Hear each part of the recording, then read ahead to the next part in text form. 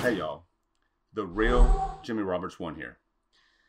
Sometimes I really wish I wasn't aware of some of the things in which I am aware. Believe me, I have plenty of other things I could be doing, fun things. But I am aware of certain things and I have a self imposed responsibility to repair the ill driven thought process of as many of you as I can regarding the fact that we aren't alone and never have been. Now, there are many who fight these efforts, sometimes out of ego and ignorance. Well, they are harming everyone, including themselves. People need to know what happened on Mars. Now, this production is entitled 10 Images from Mars That Cannot Be Denied. And notice I said 10 images, not the 10 images. It's not limited to these.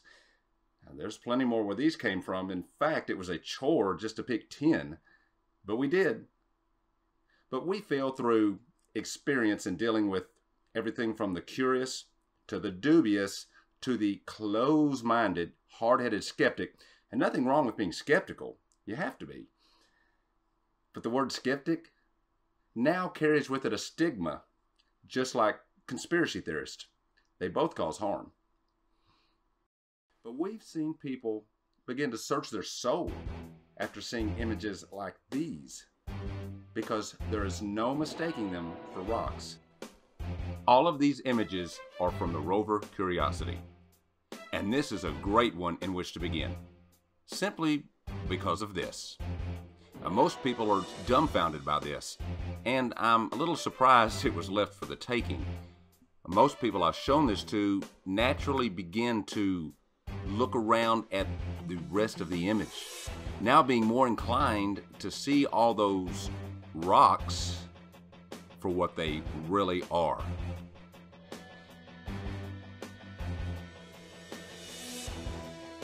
Washed out two-dimensional images can be a tough sell, but not here. When people see this, they often begin to comment on whether that is made of wood or something else. A normal person will not mistake this for a rock. Now here's another shot of the same area, different angle. Same result. Ask any five, six, or seven year old what they see. The answer is never a rock. I wonder why. This one is from the same day, just right down the road. Nobody knows what this is, but it's easy to see what it is not.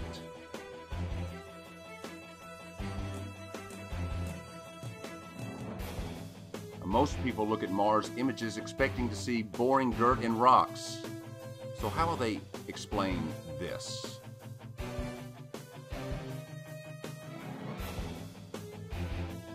I've got an idea show this to your friends.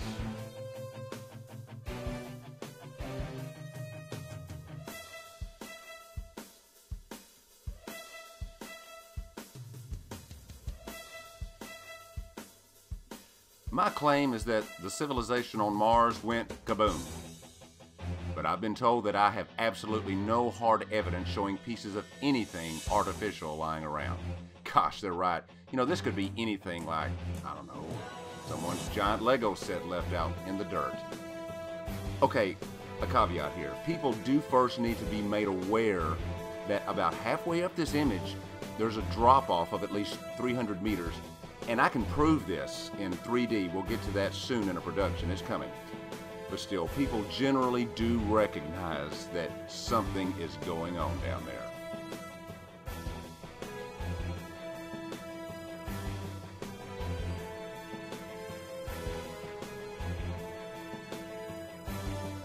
Okay, the reason we're showing this mosaic, which is great evidence in itself, but it, it's to show the context of the next two images. See, they both come from this area.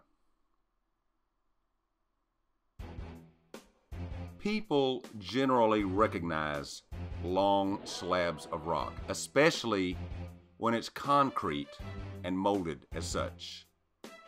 This is unmistakable. Sometimes the simplest of shapes are the most damning. This is irrefutable.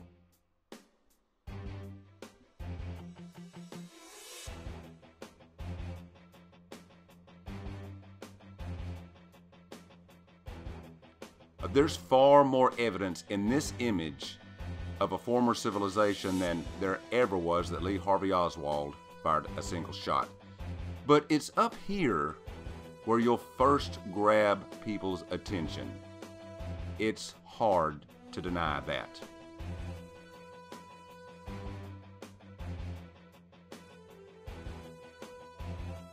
The next image is something we added because our long-time viewers, well, they deserve to see something new. I was examining this area using a 3D method and discovered something. Here's an approximation of what may be going on.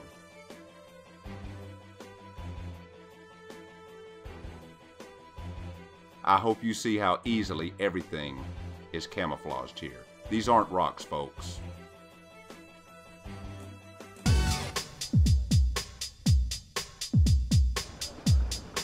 You'll just see a bunch of rocks. Hey, I'm gonna right here.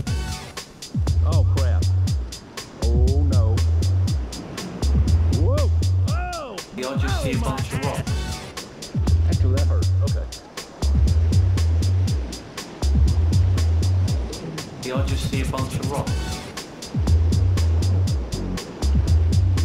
They are a bunch of scattered rocks. Scattered rocks.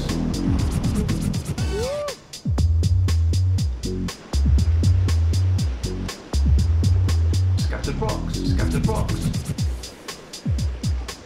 Scattered rocks. Scattered rocks. Look out! Look out! Here I just see a bunch of rocks.